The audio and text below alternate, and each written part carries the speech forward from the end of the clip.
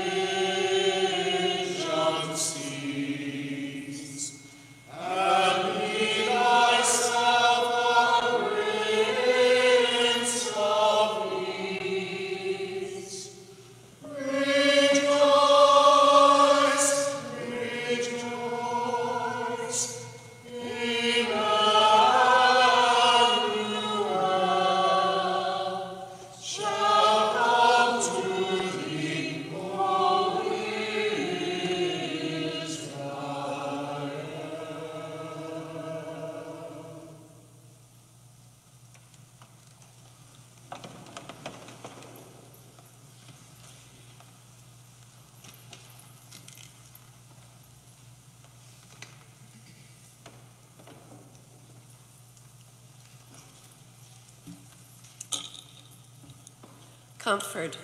Give comfort to my people, says your God. Speak tenderly to Jerusalem and proclaim to her that her service is at an end. Her guilt is expiated.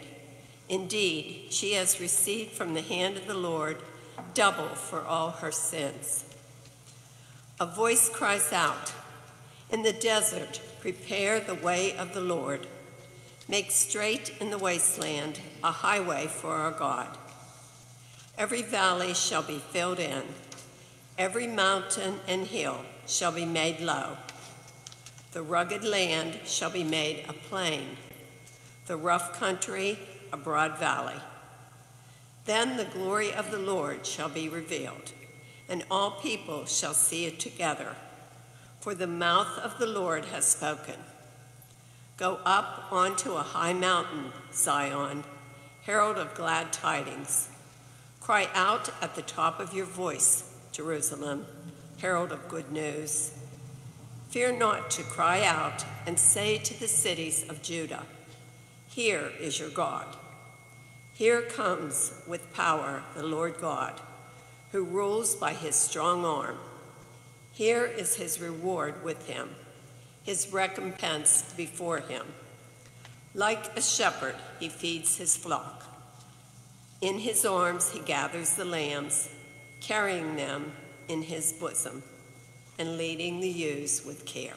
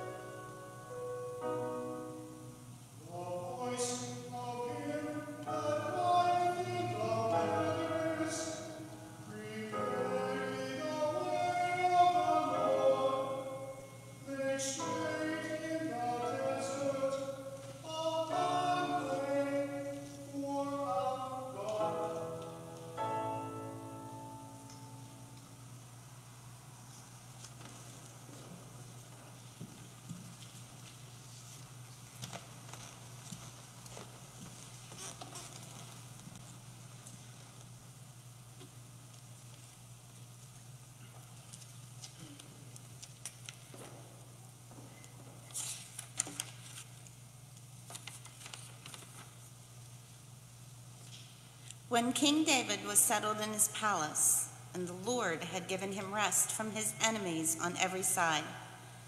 He said to Nathan the prophet, Here I am, living in a house of cedar, while the ark of God dwells in a tent. Nathan answered the king, Go, do whatever you have in mind, for the Lord is with you. But that night the Lord spoke to Nathan and said, Go, tell my servant David, Thus says the Lord, Should you build me a house to dwell in? It was I who took you from the pasture and from the care of your flock to be the commander of my people Israel. I have been with you wherever you went, and I have destroyed all your enemies before you. I will fix a place for my people Israel. I will make you famous like the great ones of the earth. I will plant them so that they may dwell in their place without further disturbance. Neither shall the wicked continue to afflict them as they did of old, since the time I first appointed judges over my people Israel. I will give you rest from all your enemies. The Lord also reveals to you that he will establish a house for you. And when your time comes and you rest with your ancestors, I will raise up your heir after you, sprung from your loins, and I will make his kingdom firm. I will be a father to him, and he shall be a son to me. Your house and your kingdom shall endure forever before me. Your throne shall stand firm forever.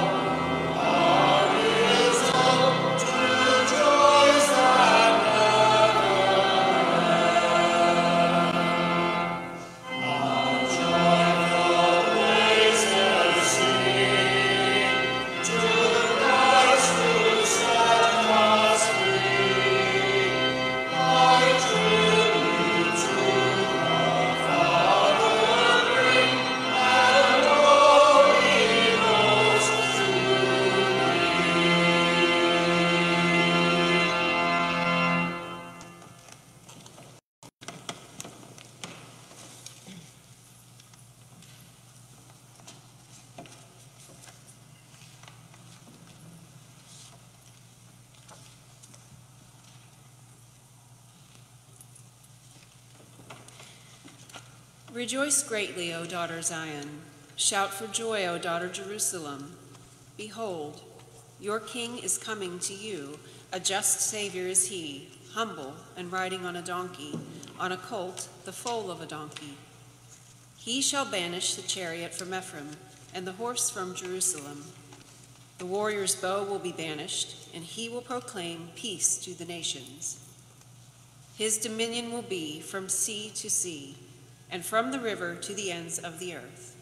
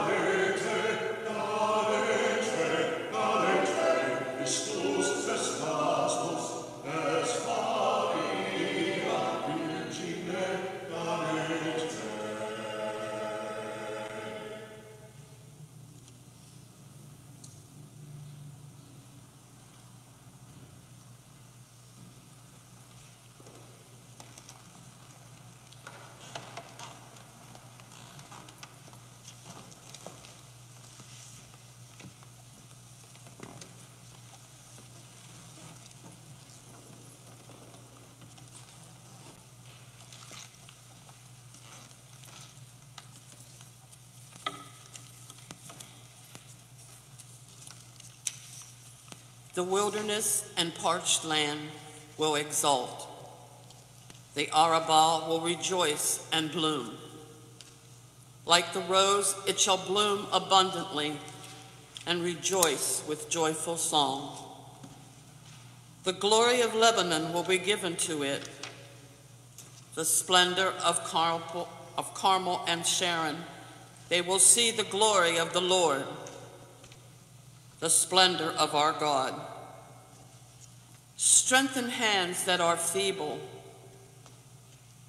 Make firm knees that are weak. Say to the fearful of hearts, Be strong, do not fear.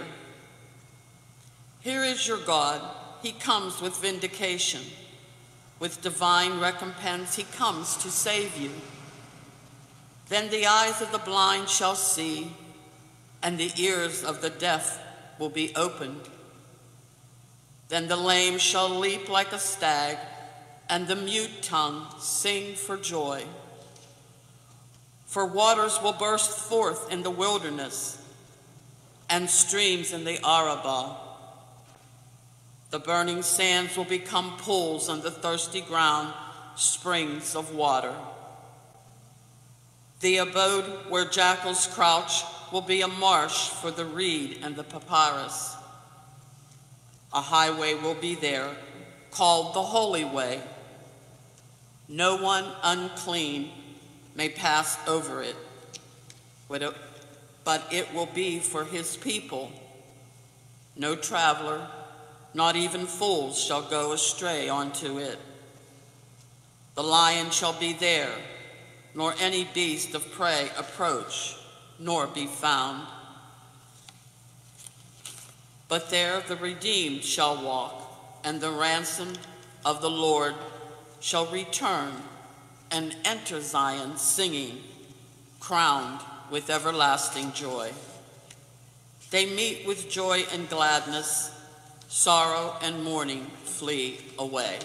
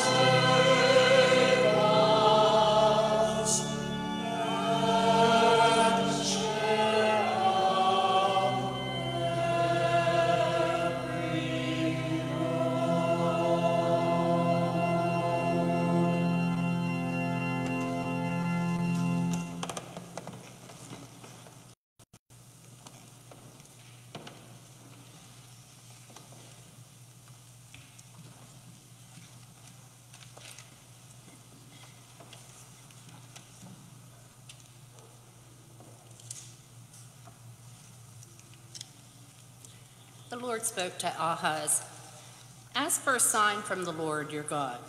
Let it be deep as the netherworld, or high as the sky. But Ahaz answered, I will not ask. I will not tempt the Lord. Then Isaiah said, Listen, O house of David. Is it not enough for you to weary people? Must you also weary my God? Therefore, the Lord himself will give you this sign. The virgin shall be with child and bear a son, and shall name him Emmanuel, which means God is with us.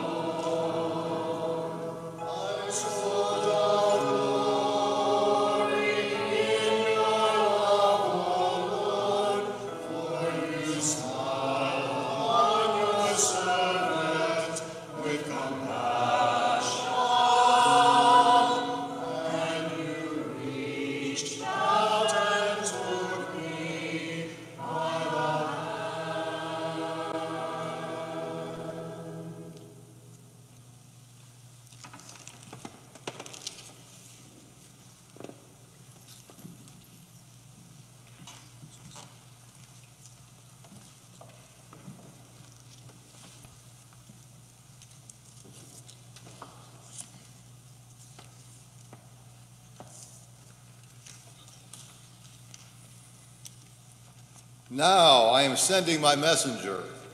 He will prepare the way before me, and the Lord whom you seek will come suddenly to his temple. The messenger of the covenant whom you desire. See, he is coming, says the Lord of hosts. But who can endure the day of his coming? Who can stand firm when he appears? For he will be like a refiner's fire, like fuller's lye.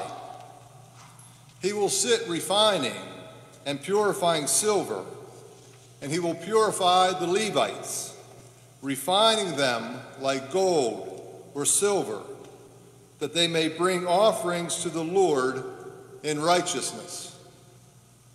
Then the offering of Judah and Jerusalem will please the Lord, as in ancient days.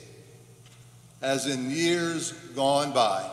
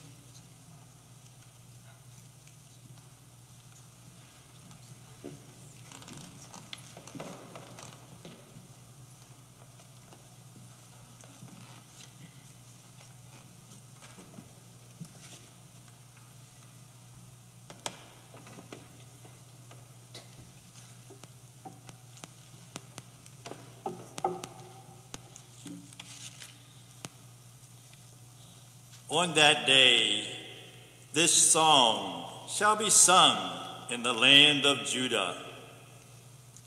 A strong city have we. He sets up victory as our walls and ramparts. Open up the gates that a righteous nation may enter, one that keeps faith. With firm purpose, you maintain peace. In peace, because of our trust in you. Trust in the Lord forever, for the Lord is an eternal rock. The way of the just is smooth, the path of the just you make level. The course of your judgments, Lord, we await. Your name and your memory are the desire of our souls. My soul yearns for you at night. Yes, my spirit within me seeks you at dawn. When your judgment comes upon the earth, the world's inhabitants learn justice. Lord, you will decree peace for us, for you have accomplished all we have done. Awake and sing, you who lie in the dust, for your dew is a dew of light, and you cause the land of shade to give birth.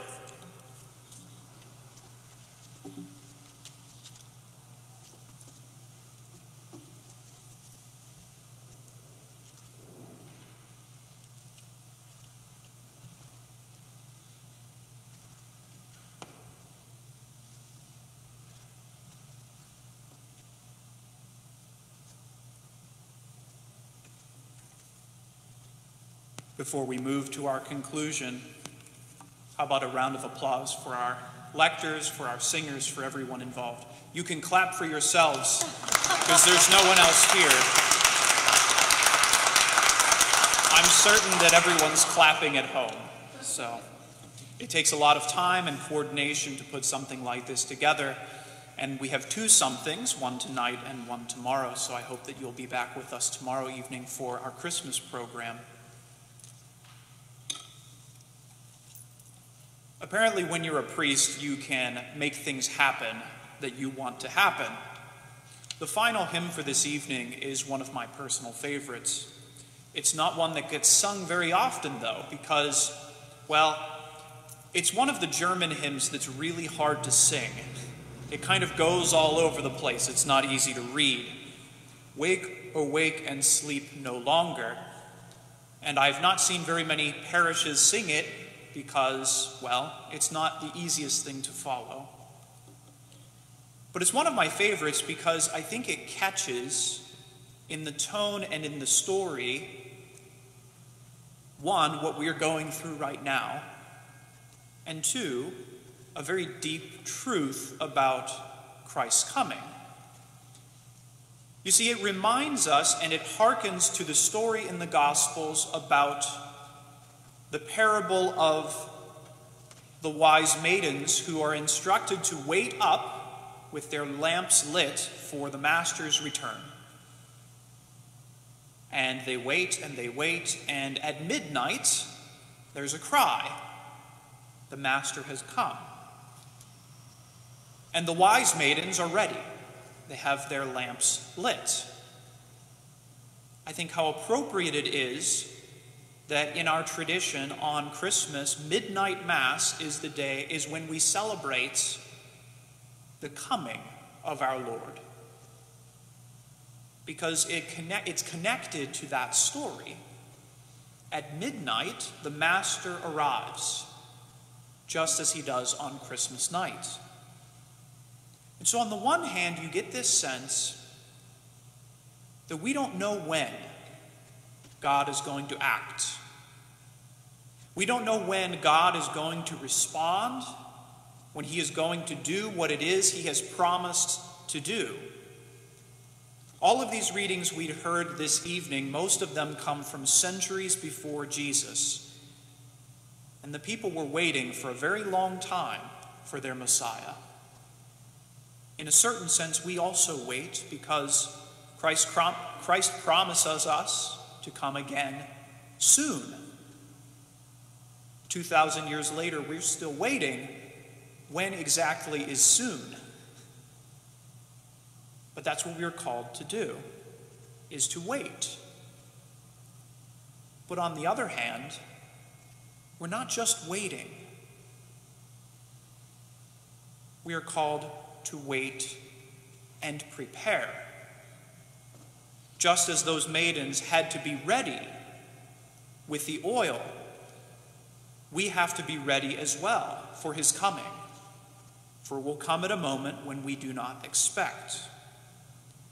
And so, this hymn, Wake, Awake, and Sleep No Longer, is a reminder to us that when we become complacent, and when we can kind of just think, well, God promised that He would come.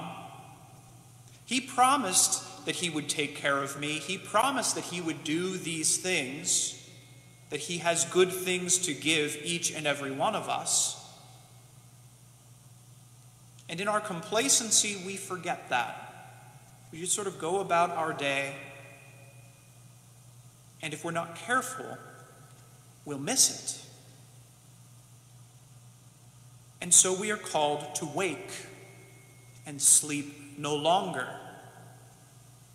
to remain awake, steadfast, trusting that in God's time He will come. We can't make that happen ourselves. We cannot make it happen any sooner. But we can be ready. And one of the ways we are ready is just as it said in that last reading awake and sing you who lie in the dust. For you cause the land of shades to give birth. God makes new life possible where it seems impossible. And so all we have to do is wait. But how do we wait? We wait ready. And so as we stand and we sing these words, let us imagine ourselves waiting for the Master's return, knowing that he will come, that he's worth waiting for. And let us sing to remind ourselves to stay awake.